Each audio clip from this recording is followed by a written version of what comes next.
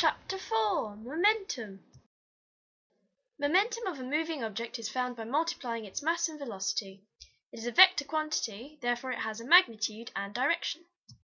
When objects collide they exert an equal force, but in opposite directions, which is stated in Newton's third law: for every action there is an equal and opposite reaction. The increase in momentum of object B is equal to the decrease in momentum of object A. Momentum before a collision is equal to the momentum after a collision. This applies to explosions as well. An elastic collision is when an object bounces off each other.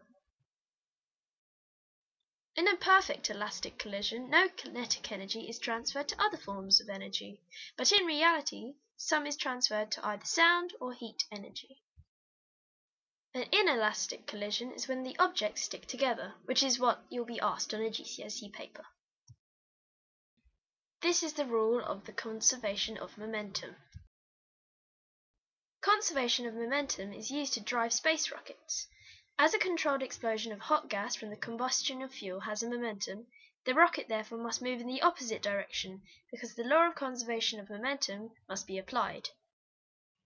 We know that force equals mass times acceleration, but it can also be written as mv minus mu over t, which is the same as the change in momentum over time.